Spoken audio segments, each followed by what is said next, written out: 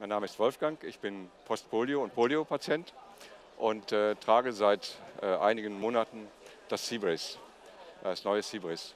Und mein Leben hat sich äh, komplett verändert, deshalb strahle ich auch so. Ähm, es ist ein Geschenk im Grunde. Das klingt sehr, sehr schön. Ja. Das neue Seabrace, du hast es schon erwähnt, hat ganz viele neue Features. Ein Feature davon ist, dass der Orthopädietechniker nach der Zertifizierung im Hause von Otto Bock das Seabrace verbauen darf und kann. Ja, genau. Was da. hat sich für dich verändert?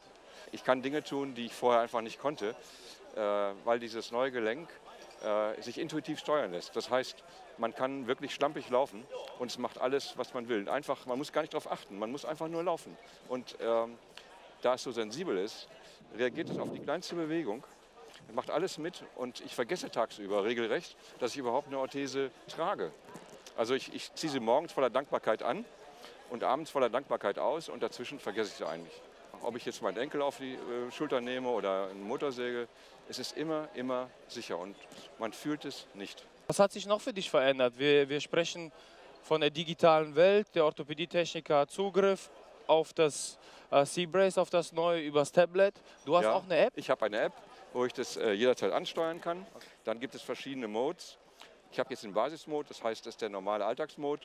Äh, das ist mein persönlicher Mode. Das ist Fahrradmode, jetzt ist sie ganz frei. Also ich Okay. halte mich mal an dir feste. Und äh, man kann sehen, ähm, ist keine Sperrung mehr. Ich muss mich auf das andere Bein stellen und schalte aber blitzschnell wieder um. Und äh, eine Sache, wofür ich Otto Bock ganz besonders dankbar bin, das habt ihr schon lange. Es war Das haben wir schon war lange. Zeit, dass wir das auch bekommen.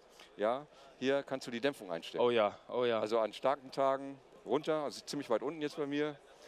Und äh, Was haben wir heute? Heute haben wir einen starken Tag, heute haben wir oder? einen starken Tag. Jeder Tag ist starker Tag jetzt. Und Dann treffen wir uns in zwei Jahren beim Tanzen, oder was? ja, ja, genau. Dankeschön.